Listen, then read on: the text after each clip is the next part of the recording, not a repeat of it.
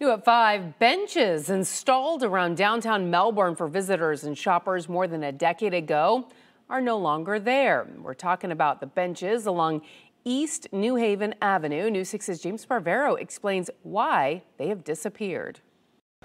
So if you've walked around downtown Melbourne since December, maybe you've noticed there aren't any benches on the sidewalk anymore. The city put in the old benches like this one back in 2012.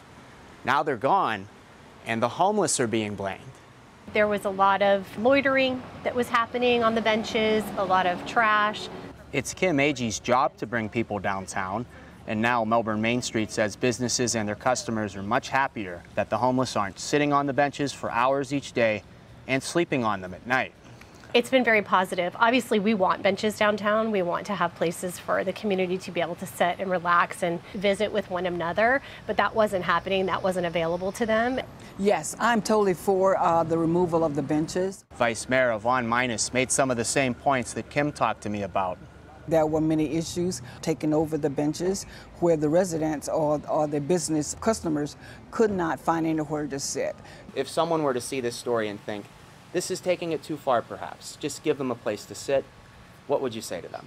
Well, they have plenty of places to sit and enjoy themselves. They're in our parks, they're along all different areas throughout our community. We're just trying to make sure that the businesses' interests are also protected. Would you ever like to see benches come back downtown? Definitely, I am in total support of helping our homeless, but it has to be conducive also to our business owners. The city continues to say its long-term plan to help homelessness we'll be building an affordable housing community called Providence Place. It would replace this soup kitchen and shelter, the Daily Bread, which is walking distance from downtown. In Melbourne, Brevard County, I'm James Sparvero, Getting Results News 6.